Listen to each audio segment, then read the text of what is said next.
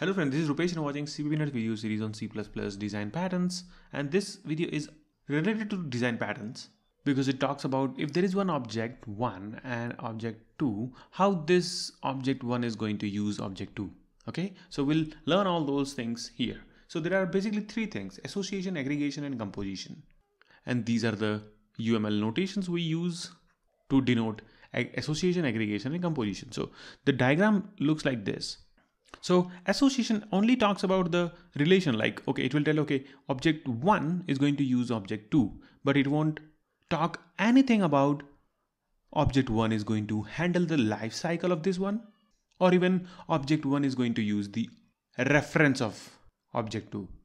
No, it will be the copy, meaning if object one is going to use object two, we will pass this object 2 into object 1 as a copy so that object 1 can use. And I mean object 1 can use and object 2 at the original place won't be changed because we pass by value okay? And aggregation this is like one object will use another object by reference. So you will be actually using the same object inside object 1 but in aggregation, you don't handle the lifetime of object what you use. And in composition, yeah, you got that right. So in composition, you have two objects. This object is going to use this one, but as this is composition, this object will hold the lifetime of this one. So this diagram doesn't look like this. It actually looks like this. You have object one and you have object two here. So if object 1 dies, automatically object 2 dies. So if you will see this diagram, you will be able to understand that this composition is a very typical case and aggregation is superset of that and association is superset of both. So let's see some examples and we'll understand a little more. So this is the association example. See, as I told you that it is going to use it. So we have foo and bar. Bar is passed inside foo, see, this is some function and we are taking this bar inside this foo function with value. So if somebody is calling this base, they are passing this bar object as a value. So there are two copies of this object now with caller and with called function. So association only talks about the usage it doesn't talk about the lifetime of object what you're going to use. That's why it just says foo uses bar. It doesn't talk about lifetime and all that. Let's go to more deeper, which is aggregation. And if you see aggregation, it tells that I have an object which I have borrowed from somebody else. I mean someone else. When foo dies, bar may live on.